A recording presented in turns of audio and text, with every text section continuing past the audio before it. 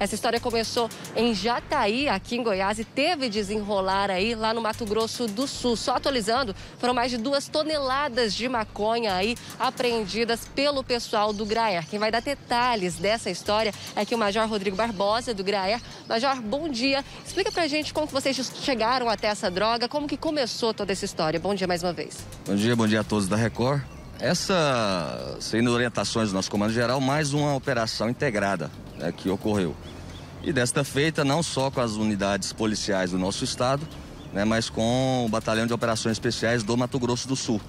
Essa ocorrência ela iniciou em uma abordagem inicial próxima à cidade de Jataí, no nosso estado, onde foi apreendida aproximadamente 200 quilos de maconha. E como desdobramento inicial dessa abordagem, né, nós chegamos até uma fazenda localizada na cidade de Rio Verde, em Mato Grosso do Sul. E lá foi encontrado uma verdadeira é, centro de distribuição. É, a gente acredita que nos últimos cinco dias devem ter passado por lá mais de 5 toneladas de maconha.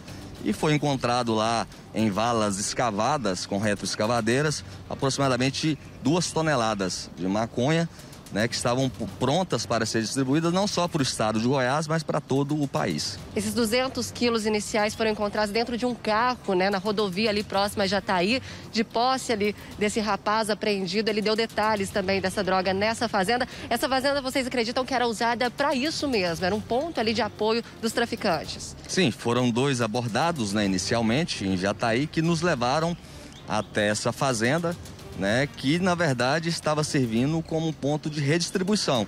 Como já dissemos, ah, nós acreditamos que não só para o estado de Goiás, né, mas para todo o país, Tocantins, Pará, né, devido a, a, grande, o grande resquício né, de valas que estavam ali naquela propriedade rural. Tinham mais buracos, então, já feitos por ali, é isso? Sim, tinham mais buracos, né? E, e, e eles, eles, na verdade, estavam utilizando maquinário, né? Com, com pedaços de, de, de de árvores velhas para tampar as valas né, que, que, que, esse, que essa droga estava sendo escondida. Usando a criatividade, mas não adianta, a polícia vai atrás. Esses presos já tinham passagens?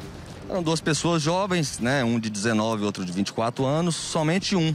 Né, somente um com a passagem também já por tráfico de droga, artigo 33. A polícia acredita que trata-se de uma organização criminosa, inclusive o senhor está me falando que eles estão trabalhando, não, a gente não pode falar se é o caso, mas como consórcio. Como que isso funciona?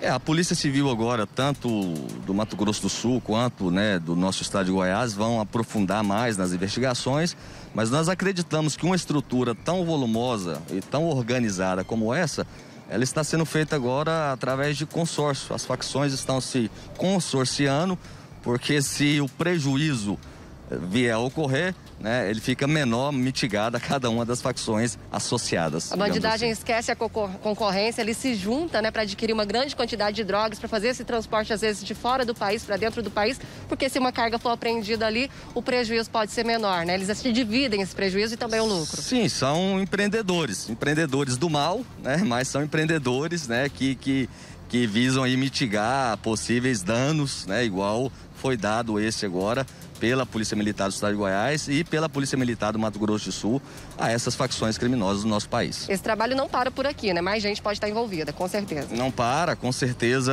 é, igual já foi dito, o, o proprietário da fazenda vai ter que justificar ou não né, o envolvimento, né, quais são as facções criminosas envolvidas e com certeza mais gente né, podem ser presos nas próximas horas. Tá certo, muito obrigada pelas informações. Tá aí, mano, a imagem até impressiona, né? Um trator, uma retroescavadeira é usada ali para retirar essa droga. Deu um trabalhão para a polícia, mas tá aí, mais de duas toneladas de drogas apreendidas, dois presos e o trabalho continua.